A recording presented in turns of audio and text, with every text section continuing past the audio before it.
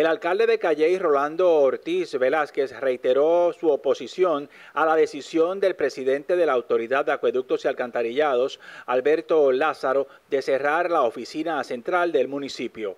Durante la mañana de hoy, el Ejecutivo Municipal recogía firmas de ciudadanos que llegaban hasta la oficina para realizar sus diligencias diarias. El alcalde de Calle había anunciado que con la acción de la AAA, miles de envejecientes y residentes de comunidades aisladas tendrían que trasladarse a otras oficinas en la zona de Caguas o San Juan para realizar gestiones relacionadas con la agencia y más de 70 comercios del casco urbano de Río Piedras se unieron a la campaña Golpe Bajo a los Comercios, que se opone a los cambios realizados al transporte público en Río Piedras por parte de la Autoridad Metropolitana de Autobuses.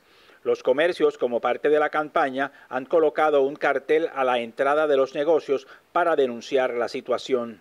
Aunque se pusieron los trolis en el terminal, las ventas en los comercios del área han bajado significativamente. Y por otro lado, agentes adscritos a la División de Arrestos Especiales del área de Humacao diligenciaron la orden de arresto expedida por el Tribunal de Humacao contra Ángel Colón de Jesús, de 42 años, quien era director de la Escuela Tecnológica Manuel Mediavilla Negrón de Humacao. Colón de Jesús alegadamente se apropió ilegalmente de 67.292 dólares mientras ocupaba el puesto. Los actos delictivos fueron cometidos entre agosto de 2013 y mayo de 2014. Para el Vocero TV Minuto 60, Carlos Ochoteco.